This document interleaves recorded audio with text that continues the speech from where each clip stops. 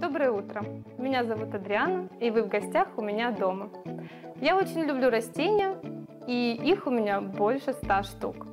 В сегодняшнем выпуске я расскажу вам, как сделать органические удобрения из подручных средств, которые найдутся на любой кухне. Для начала я расскажу вам, как сделать питательный раствор для полива растений из обычной гречки. Мало кто знает, но вода от промывки наших круп содержит все те же полезные вещества, которые находятся в каше.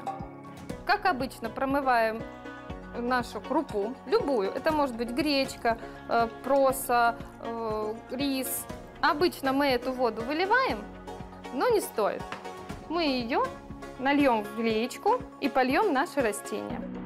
Если будете регулярно поливать такой водичкой, то э, растения тронутся в рост, будут зеленее и, возможно, в ближайшее время зацветут. А сейчас будем делать удобрение длительного действия. Для этого нам понадобится яичная скорлупа. Испекли вы кексы, а скорлупа от яиц осталась. Мы ее просто сминаем, измельчаем. Не бойтесь, она легко ломается. Смешиваем с землей. Постепенно скорлупа будет разрушаться, тем самым отдавать весь кальций земле, а корни растения будут ее потреблять. Теперь таким составом нашего грунта сажаем наши растения. Не забываем положить керамзит, чтобы корни наши не загнивали, чтобы водичка уходила. Немножечко грунт.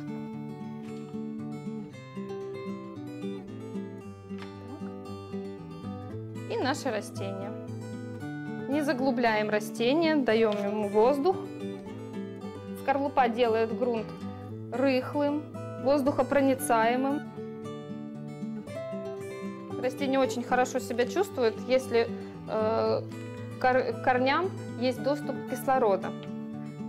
Если нет кислорода, корни не развиваются, растение болеет и не идет в рост. Теперь наше растение осталось только полить и радоваться.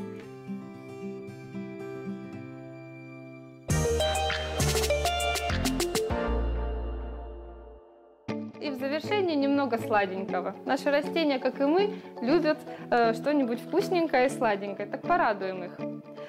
Одну чайную ложку сахара разводим в одном литре воды. Хорошенечко перемешаем.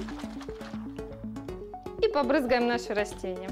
Глюкоза, которая содержится в сахаре, отвечает за энергию растений. И они у вас будут блестящими, здоровыми и красивыми. Надеюсь, вам мои секреты пригодятся, вы будете ими пользоваться, и в скором времени вокруг вас будет зеленее.